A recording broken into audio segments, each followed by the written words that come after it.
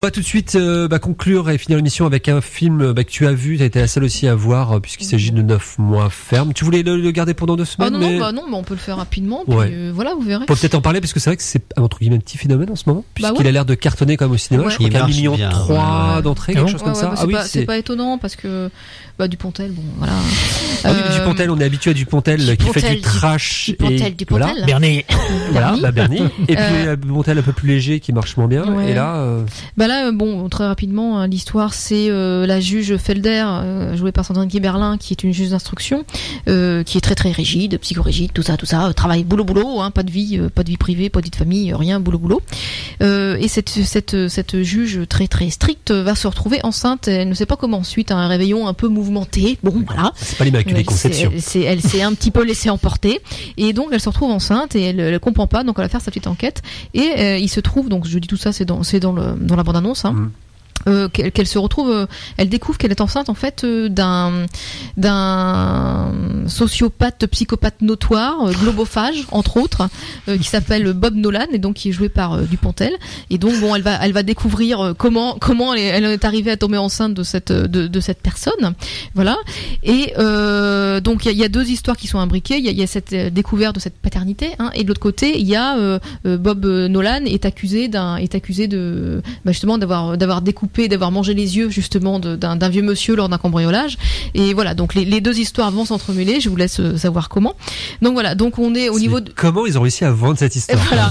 Donc, bah parce que en fait, on est complètement, bon, on est dans du Dupontel euh, pur jus, dans le sens où bah euh, bon, il arrive à nous entraîner dans ses pires délires. L'histoire est à dormir debout, mais euh, voilà, c'est euh, c'est, enfin, on, on- on part, on part avec lui, il nous emmène où il veut, de toute façon, voilà. Euh, par contre, c'est un film qui est, euh, alors bon, en termes de mise en scène, on retrouve hein, ce qu'on connaît du Dupontel, c'est-à-dire les cadres euh, un peu penchés, un peu avec les. Il y a un côté un petit peu cartoon hein, dans sa mise en Ouais, scène. mais hein. alors, justement, il y, y a les cadres un peu penchés, un peu, et, et les, comment on dit, une déformation optique, je sais pas comment on pourrait dire, là, un peu la Terry Gilliam, quoi, vous voyez, un truc comme ça, Ouais. qu'on retrouve, euh, Il y voilà. a des accélérations aussi au niveau Voilà. de. Qu'on connaît Ouais. chez Les Dupontel, travelling on connaît. compensés. Voilà, la, la, des travelling compensés, c'est beau. Oui.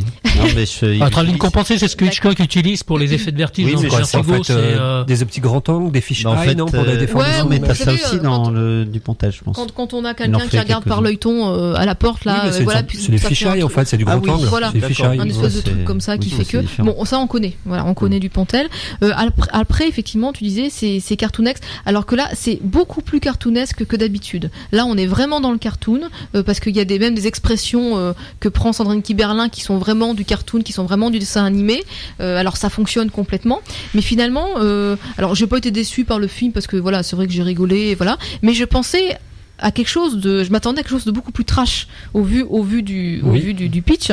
Et je m'attendais à un truc vraiment style Bernie euh, Oui, x10 parce que, quoi. oui. parce que et en, en l'occurrence il y a des choses qui peuvent qui si dé- décrites comme ça il y a une scène d'autopsie notamment qui pourrait être très trash très gore mais en fait c'est finalement c'est elle, elle est trashounette quoi parce que c'est c'est c'est traité sur le mode du cartoon. Donc on n'est plus sur le cartoon BD donc ça alors ça fonctionne mais on n'est pas euh, si on s'attend à avoir vraiment du trash du gros trash comme on, comme on- qu'on voyait dans Bernie un peu et Bernie là- là-dessus était beaucoup moins dans le cartoon alors que là on est dans le cartoon. Vraiment. Euh, je, trouve ça ça change et finalement c'est un, un Dupontel qui est beaucoup plus sage que d'habitude. Donc il arrive à faire en fait à quelque chose de, de grand public, mais qui n'est pas forcément lisse, qui est un peu rugueux, qui gratte ouais, un mais petit à, peu. à- oh, à peine, à Ah, à peine rugueux. Il a Ah, quand même perdu beaucoup de rugosité. Euh, voilà.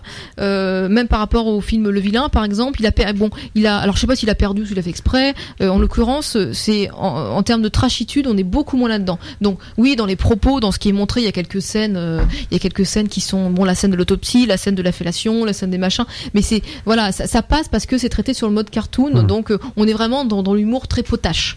On est plus dans le potage que dans que dans le que dans le gore ou dans le trash. Donc euh, c'est vrai que moi je m'attendais pas à ça. Alors non pas que j'étais déçu euh, parce que le film fonctionne complètement sur ce mode-là, mais euh, si on s'attend à du Dupontel hyper trash, c'est pas ça qu'on va Ok. voir. Mais est-ce qu'on peut entre Voilà. guillemets se dire que finalement on sort de la comédie un peu franchouillard ou celle qu'on Oh n'aime bah pas oui, on forcément est- et ça donne un bon coup de pied aux fesses à la comédie de papa, quoi. Hein. Ouais. Ouais, bien sûr, mais ça on s'en doutait de toute façon, hein, c'est du Pontel.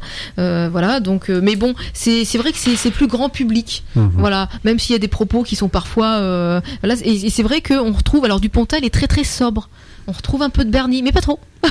Voilà, il, a, il y a quelques petits tics comme ça qui reviennent, mais euh, il est très très sobre finalement. Alors qu'on s'attendait à quelque chose d'hyper, euh, Mm. enfin d'hyper euh, hystérique et hyper voilà. On est on n'est pas là-dedans. Mm. On n'est pas là-dedans. On est, on est vraiment dans le cartoon, dans la BD.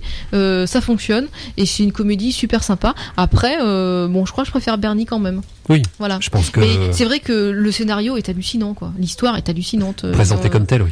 Oui, non, c'est ça en même temps. Enfin voilà, Mhm. c'est c'est euh, ils ont non, ils ont ils ont trouvé un super truc. euh, Il a il a, un super scénario, quoi.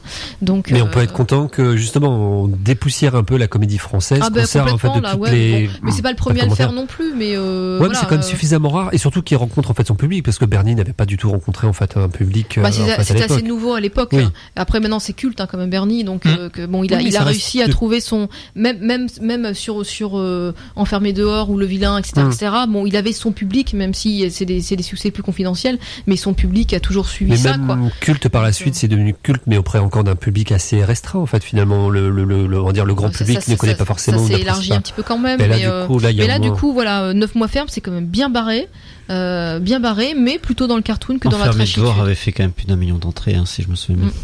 Ouais, mais là, c'est un démarrage fracassant puisque le film est sorti quand Il est sorti euh, il y a quoi Il y a deux semaines. Il y a hein deux semaines à peu Euh, près. parce ouais, que je le pense, 1 million, plus Un 1 million million 4, trois, oui, euh, 3 millions ouais. 4 en deux semaines. Le Ouais, non, bouche-oreille il qui doit faire- être avoir. Là, le continuer, est- donc, est, euh, très bien parce que Dupontel, bon, c'est vrai qu'il est plus sauvé d'études. Bon, alors, euh, pareil, moi, ça m'énerve un peu de lire Ah, Sandrine Guiberlin est très drôle, on la découvre. Non, on la découvre pas. elle a déjà fait plein de trucs. Elle est déjà très drôle dans d'autres films. Elle a déjà fait plein de trucs drôles dans des comédies. Elle est, elle est hallucinante dans, dans la comédie. Et ceux qui ne savent pas encore, franchement, c'est qu'ils ont raté des choses, quoi. C'est un peu Euh, dommage pour des critiques cinéma, oui. Non, mais enfin, je, bon, voilà. Ah bon. euh, donc, euh, non, non, c'est c'est un, bon, c'est un film. Franchement, c'est un film à voir. euh, Elle était très bien dans le film euh, comique avec José Garcia qui était amoureux d'elle. euh, le film de ah Je sais pas, moi je me rappelle avoir Bref. vu dans Les Gamins avec Chabat et Boudeville où elle joue, la, elle joue la femme de Chabat. Ah oui, elle est vrai. hallucinante aussi. Elle joue une Mmh, femme qui ne oui, finit non, jamais ses est- phrases. Elle, est, elle est drôle, mais, elle est drôle, super hein, drôle. Elle est super très drôle. Voilà. Bon, Donc, bah, et euh, le- à voir. ce film à voir, bon, c'est Jusqu'au 26 novembre au Café des Images, si tu voulais savoir. Pardon, de quoi Jusqu'au 26 novembre. Oui, Neuf neuf mois ferme. Oui, voilà. Bah, Non mais de toute façon en plus euh, qu'on aime ou qu'on n'aime pas, il faut pas lui retirer qu'il a quand même Ah, des concepts de scénario toujours originaux. Oui. Même le créateur qui avait pas du tout marché. Oui. Oh non, il a, il a, il a un Mais, parti euh, bah, pris. Il a, il a là, un parti pris, après Ah on ouais, accroche ouais. ou on accroche pas. De toute façon, à l'époque il faisait des spectacles, des one show, Mais il là- avait toujours dit qu'il voulait faire du cinéma et qu'il Ouais. avait vraiment son univers. Ah, là, dommage qu'il ait quitté la scène quand même. Mais là, je, trouve que c'est un peu, encore une fois, on est plus sur le mode BD cartoon que sur le trash. Alors peut-être que ceux qui avaient pas aimé Bernie, par exemple, Mm. pourraient aimer ce film-là, parce que on est dans du Pontel, mais il c'est un, voilà, il- c'est un peu plus grand public, c'est plus accessible. Il s'agit. Je sais pas Avec si, l'âge. ouais, si ça s'agit, ouais. En tout cas, en tout cas, c'est plus sobre. Il a arrondi les angles. C'est Mhm. plus sobre. Je pense juste à son sketch avec Rambo quand il fait. Oui, je à ça. Euh, suis désolé, Jackie, il est 22h18. euh, on a oui, bah, vraiment, dépassé. On fera quand même un petit mot la semaine prochaine par Oui. rapport à cette euh, Oui. BO en fait euh, que tu nous as sélectionné cette semaine.